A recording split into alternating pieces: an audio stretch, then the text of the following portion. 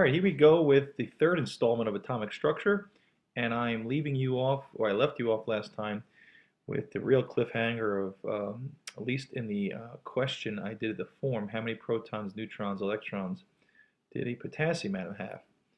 Okay, so if you look in the periodic table, you find this information here, and let's pull from it from what we remember next last time. So here is um, our atomic number. So that's going to tell us that we have 19 protons. And of course, if you remember, that of course is the most important of all the subatomic particles because that is what identifies the element. Now, the electrons that we talked about last time, all right, have to be equal to the protons if it's an atom. And all of the elements listed in the periodic table are listed as atoms. Atoms are electrically zero. So these things have to equal each other. Protons have the fundamental charge of plus one, and electrons have the fundamental charge of negative one. And if we remember, when we went back to table O, okay, it helps us remember exactly what that means. Now, of course, the beta particle, I said right in the word electron, it's got a negative one charge. The bottom number is charge number on this chart. And this helps us remember our particles. Proton is plus one, okay, and a neutron is also, I'm um, sorry, it, neutron has no charge. The top number is mass number, just like we've been reading. A proton has one proton, I mean, it has one mass, and a neutron has another mass. Electrons don't have any mass, okay, and it helps us remember that electrons are not part of the atomic mass. So uh, protons, electrons are fundamentally have opposite charges as table O just showed you. And how do we get neutrons? Well, we're going to round this number to 39. We're going to talk about hopefully why that is uh, today. And so we round that to 39.0 and we have 19. And of course, as we talked about last time, this number is the proton and neutron number. Okay, and we just saw that from table O. In table O, the mass number of a proton has a 1 and the mass number of a neutron has a 1. They have the same mass. And as we learned from last lecture, all the mass of the atom is that very dense nucleus. And all that empty space that exists for the atom is where these electrons, which are 2,000 times lighter, that's why they're given a 0 in table um, uh, O. Okay, so any case, they're not part of the entire mass. So it's just protons and neutrons for the mass number here. All right, any case, very simple. This is um, protons and neutrons for the mass number, and of course the atomic number is the uh, proton number. So obviously the protons cancel and you get neutrons. So 39 minus 19 gives you 20 neutrons. Nothing earth-shattering there. That's a skill that's very important and very easy to do okay, once you have your basics down. And of course, table O is your friend if you forget those things, but you won't.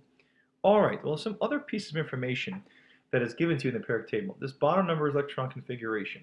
We're not going to get to that till next week. But there's something here, right here, that's important. And that's called an oxidation state.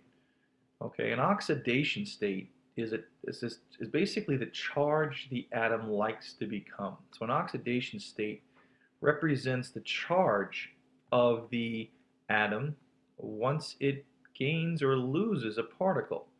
Okay, so it's telling me what potassium loves to become.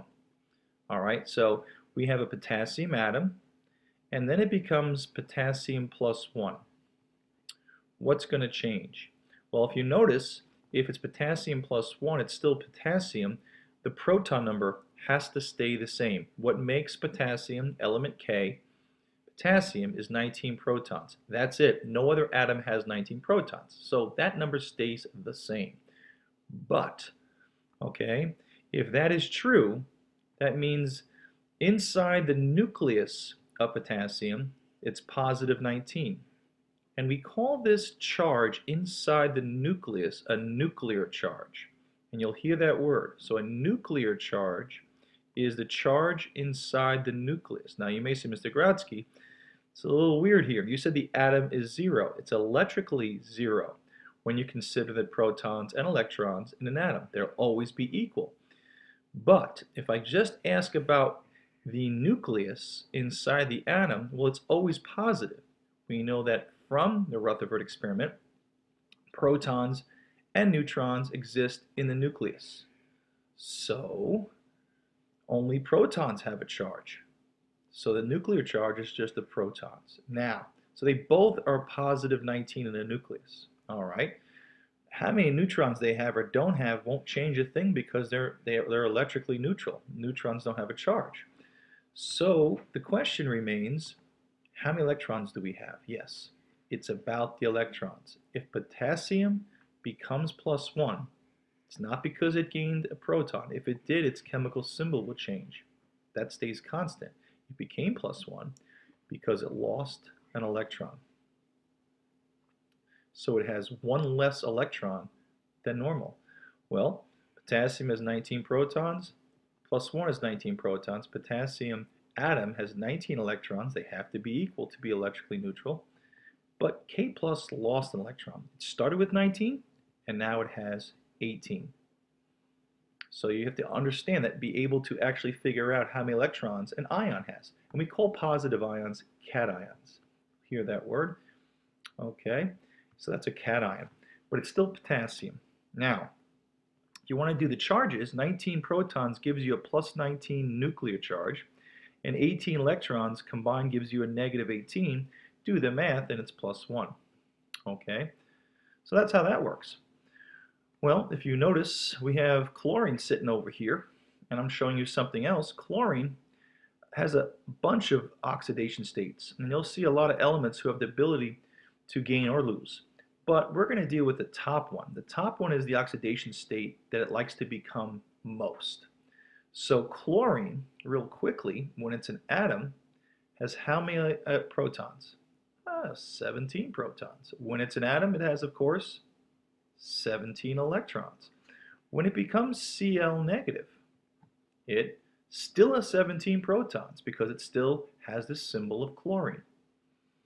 But it now, because it's negative 1, it must have gained an electron. So electron, okay, came to the atom, and this has one more electron than the proton, so we say this has 18 electrons. And if you do the math, negative 18 and a positive 17 and negative 1. So, and they call these negative ions anions. You'll hear that word. So atoms can lose electrons and become positive, and they can gain electrons and become negative.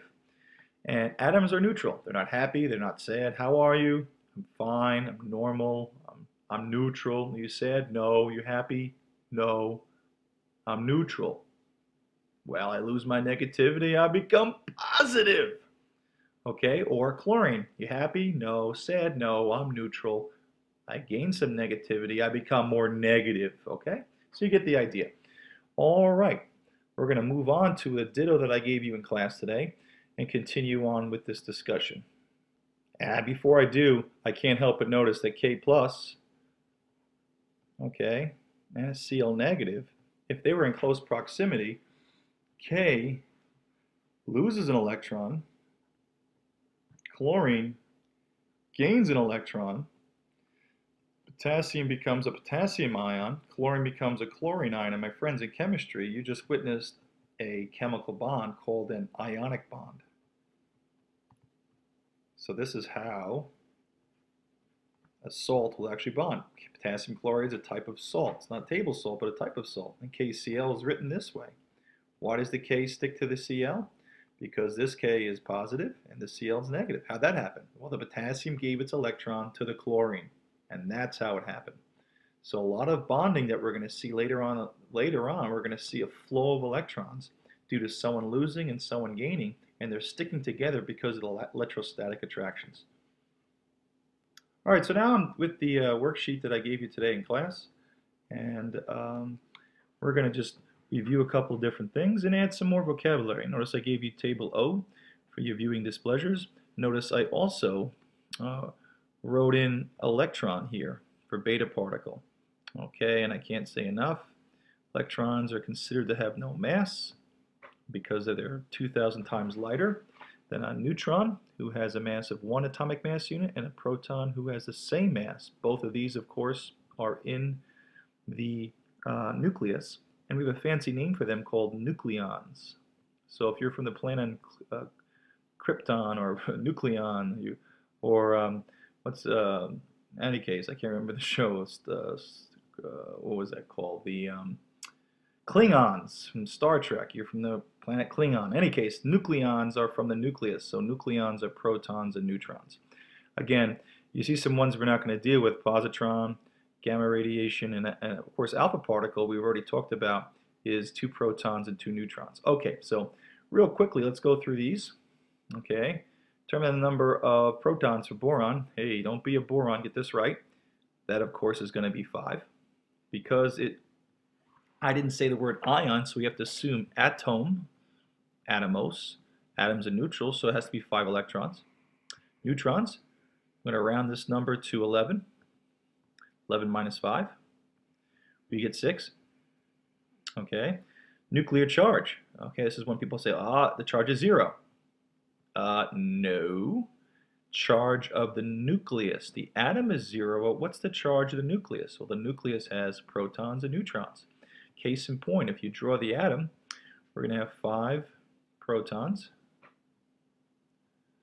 And I'll make the protons blue.